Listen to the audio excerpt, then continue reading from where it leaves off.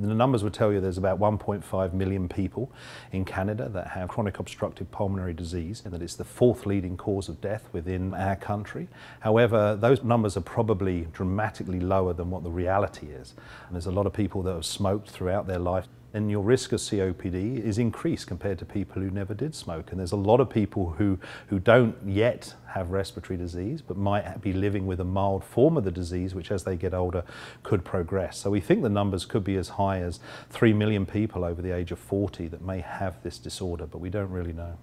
This project was an initiative that was started by Interior Health and they came to us um, looking for us to come up with evidence-based material that we could utilise with patients with chronic obstructive pulmonary disease who live in rural communities around BC and may have got some pulmonary rehabilitation formally from their local healthcare authority but could then actually perform more long-term exercise rehabilitation within their own home or within their community if they didn't have access to a formal rehabilitation rehabilitation program. It's absolutely critical, to be honest. It's part of their routine standard of care now that if a patient has chronic obstructive pulmonary disease, and especially if they've had an exacerbation or a worsening of their symptoms, that they get pulmonary rehabilitation as part of their care within Canada. And this rehabilitation and the exercise they get is essential for improving their exercise capacity and their functional capacity to live within their own environment.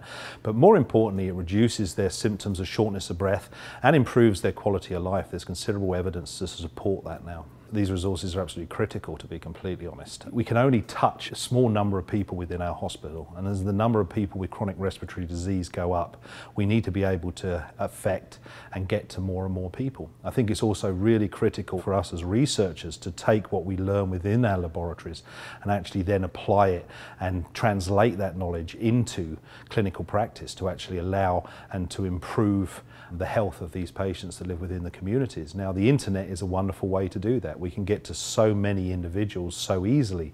And I think aspects of the internet where we use videos like this and we use feedback with professional healthcare givers and, and, and ways of actually communicating with people who live a long way away is really absolutely critical to get to people who are not within big cities, especially within British Columbia.